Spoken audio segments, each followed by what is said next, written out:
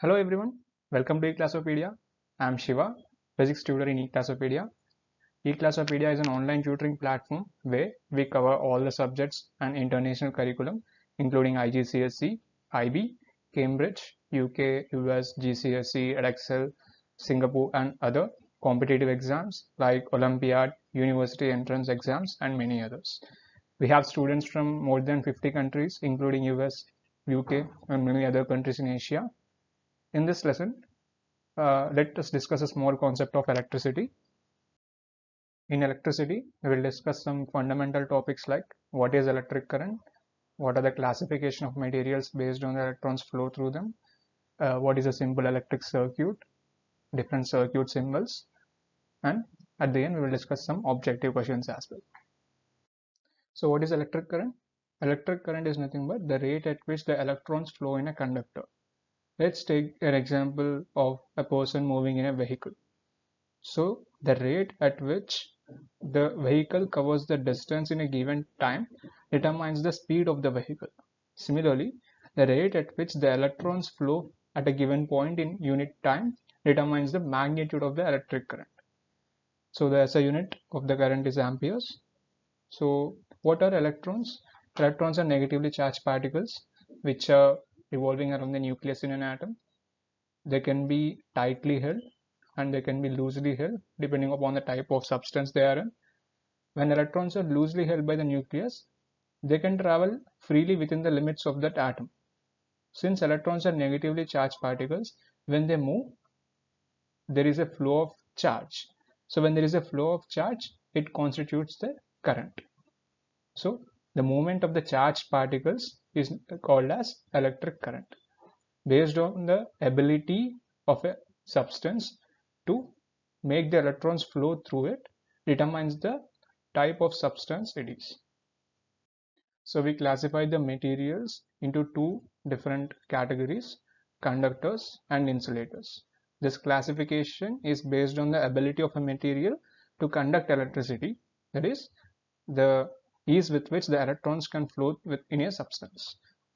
So let's discuss more about the conductors and insulators. Conductors. Conductors are the materials that allow the free flow of electrons. The flow of electrons inside the conductor material will constitute an electric current.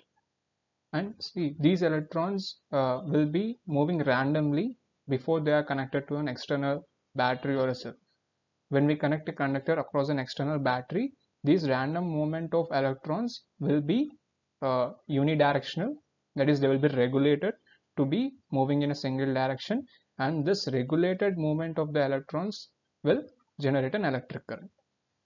So, some of the examples of the conductors are uh, aqueous solutions of salts, metals like iron, silver, and gold.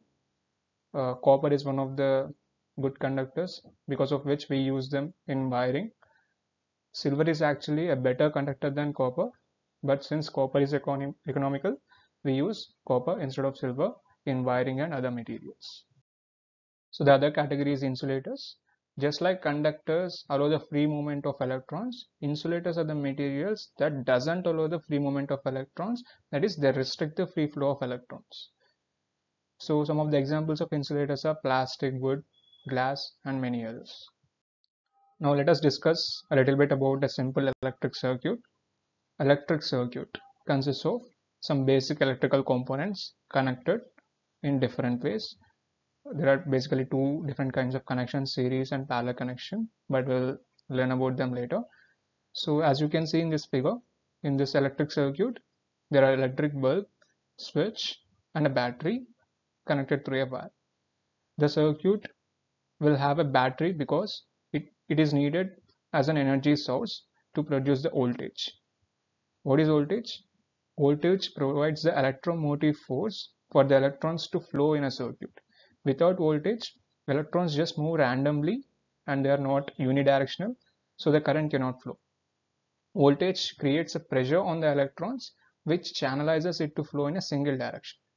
The circuit forms a closed conducting loop through which electrons can flow.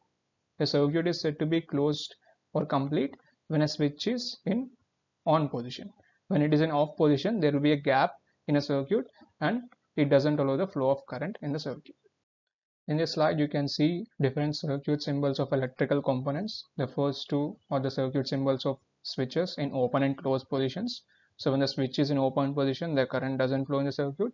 And when it is in the closed position, it will be allowing the passage of the current. And the next two are the circuit symbols of cell and battery.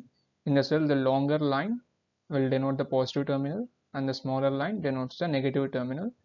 And if more than one cell are connected in a series, we call it a battery. And the next circuit symbol with a circle and a cross inside it is lamp or electric bulb.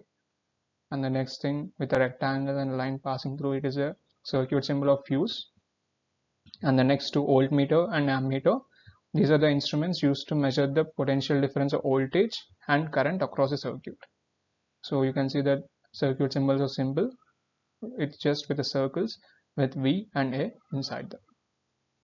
We touched upon the concept of electromotive force when we discussed about the voltage.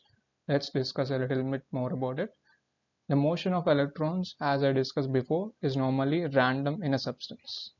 So, if a force acts on these electrons to make them move in a single direction, in a particular direction, then the random motion of the electrons will be eliminated and there will be a single flow of charge. So this force that makes the electrons to move in a regulated way in a certain direction is known as electromotive force and its magnitude is what we call as voltage and it is measured usually in volts. So far we discussed about what is electric current, what are its units, what are the different classifications of substances based upon the electrons flow through them and we discussed what is an electric circuit and different circuit symbols. Now let's use a concept of a water pipe to understand how does an electric current flow through a wire. So as you can see in this figure, there are two cases where the pressure in the pipe is more and in the pressure in the pipe is less in the second case. If the pressure is more, the water flow will be more and similarly if the pressure is less, the water flow will be less. Just like that, even in electric circuit, when the voltage is high, that is equivalent to pressure being high. So if the voltage is high, the flow of electrons will be high and the current will also increase. And similarly, when the voltage is less, it means like the pressure will be less and the flow of electrons will also be less. Hence, the current will be less. So this model of uh, water pipe allows us to understand the concept of flow of electrons and current better. So based on the topics we discussed so far, I am including two objective questions in the slides.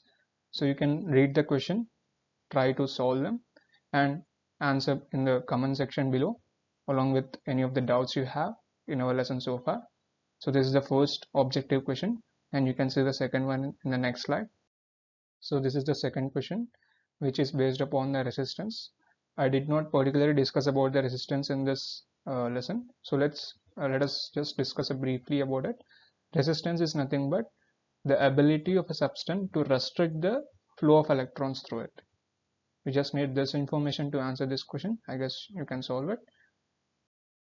Please like the video share it with your friends and subscribe to our channel registrations are open for this course.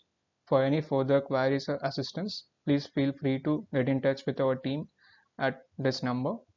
And at this website you can register for a free demo session. And the link is also given in the description box below. Thank you